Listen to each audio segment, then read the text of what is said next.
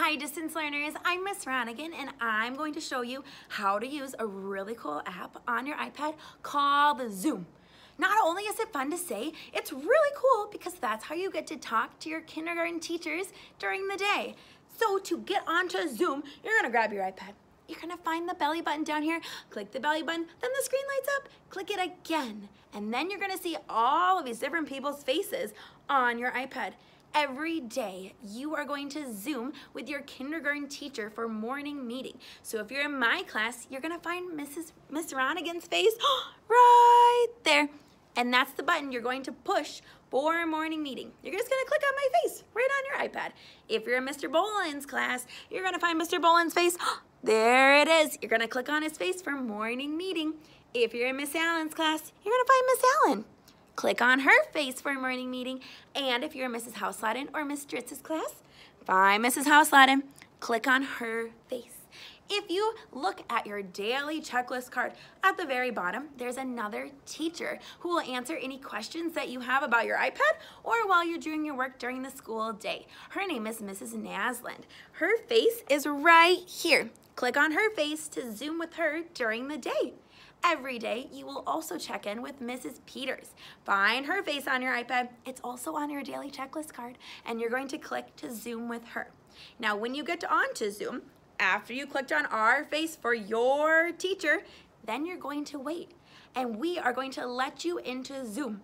When you come in right away, we want you to click the mute button it's a quiet button. It looks like a microphone because right away, we don't want you to talk because we want you to listen. So you're gonna come on and you're going to be on mute. And then if you have something to say, because we wanna hear what you have to say, you can raise your hand and we will see you. Then we will come over and we will let you into the class by unmuting you so your voice can be heard. If you can't hear us, you might need to take your iPad and you see these two little buttons right on the side. Click the up button and that will turn up your volume even louder.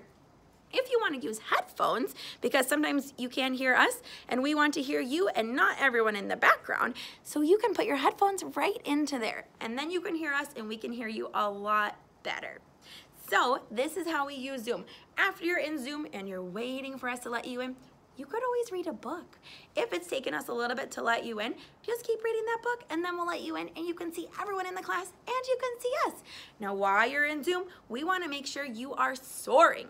At school, we soar, and at home, you're going to soar too, which means you're going to be safe, you're gonna own your actions, you're going to achieve and do your very best you can do, and you're going to be respectful. Especially on your iPad during Zoom, we want you to be respectful and do your very best, which means you're going to find a spot and you're going to sit there the whole time.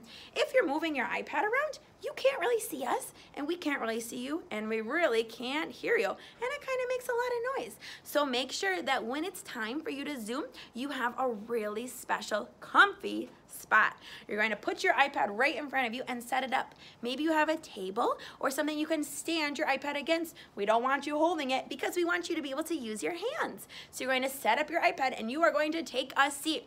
If you're moving around, it might move the iPad and it might fall down. We have to be extra safe, especially with our iPads. So make sure your iPad is on the table or a really special spot where it will stay really still. You're sitting down so we can see you in the camera. If you're over here to the side, we can't see you. If you're too tall or too short, we can't see you either. So make sure that your whole face is right in the screen so we can see you the entire time. We cannot wait to Zoom with you and see your faces. Yay!